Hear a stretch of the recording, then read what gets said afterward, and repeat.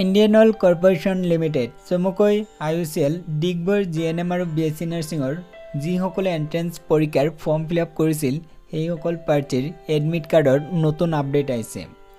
যিসকল candidate B S C নাৰ্ছিঙৰ entrance পৰীক্ষাৰ ফৰ্ম ফিল আপ কৰিছিল সেইসকল কেণ্ডিডেটৰ পৰীক্ষা হ'ব ৰিটাৰ্ণ টেষ্ট হ'ব দুহেজাৰ একৈছ চনৰ ডিচেম্বৰ মাহৰ বাৰ তাৰিখে। যিসকল কেণ্ডিডেট বি এছ চি নাৰ্ছিঙৰ ফৰ্ম ফিল আপ কৰিছে সেইসকল কেণ্ডিডেট দুহেজাৰ একৈছ চনৰ নৱেম্বৰ মাহৰ ন তাৰিখৰ পৰা এডমিট কাৰ্ড পাব। এতিয়া জানি লওক কেনেকৈ এডমিট কাৰ্ড লাভ কৰিব। আৰু যিসকলে জি এন এম নাৰ্ছিঙৰ ফৰ্ম ফিল আপ কৰিছে সেইসকল কেণ্ডিডেটৰ এডমিট কাৰ্ড এতিয়ালৈকে অহা নাই। কেইদিনমান পিছত পাব এডমিট কাৰ্ড।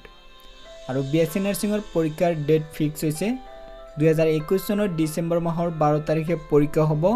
আৰু এডমিট কাৰ্ড লাভ কৰিব ন তাৰিখৰ পৰা। ডিচেম্বৰ মাহৰ ন তাৰিখৰ পৰা এডমিট কাৰ্ড পাব। নিজৰ নিজৰ ইমেইল আই ডিত পাব।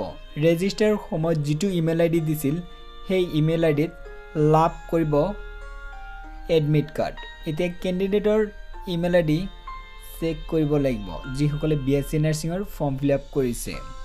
ইমেইল আই ডিত লাভ কৰিব এডমিট কাৰ্ড এতিয়া কাম কৰক এই ভিডিঅ' ডেছক্ৰিপশ্যনত লিংক পাব। লিংকত ক্লিক কৰি এডমিট কাৰ্ডৰ সম্পূৰ্ণ তথ্য জানিব পাৰিব লগতে ন'টিছ চাব পাৰিব।